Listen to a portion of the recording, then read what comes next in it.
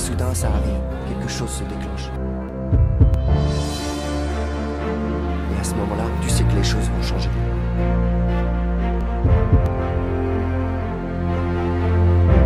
Et c'est là que tu réalises que les choses n'arrivent qu'une fois.